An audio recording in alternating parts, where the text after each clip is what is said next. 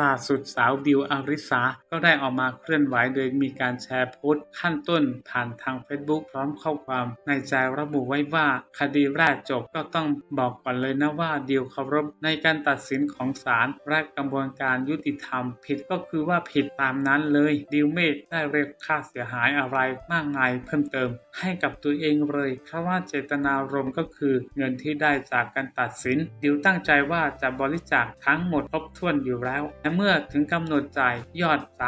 31,753 บาท ศาลก็สั่งจ่ายแต่ก็ไม่มีการชำระ ดังนั้นศาลจึงได้ออกหมายเจ้าพนักงานบังคับคดีเพื่อยึดทรัพย์สินของคู่กรณีมาขายทอดตลาดเพื่อนำเงินมาชำระหนี้ให้ก็ตามนั้นจบแฮชแท็กผิดก็คือว่าผิดค่ะแฮชแท็กถูกก็คือว่าถูกนะคะ และก็แฮชแท็กชนะก็คือสิ่งที่ทำให้เราภาคภูมิใจว่าเราไม่ผิดขอขอบคุณทุกกำลังใจ และก็จะเดินหน้าททำดีช่วยเหลือคนอื่นนะ ซึ่งงานนี้ก็เลยทำเอาแฟนคลับแหกกดไลค์ถูกใจแม่ดิวกันเป็นจำนวนมาก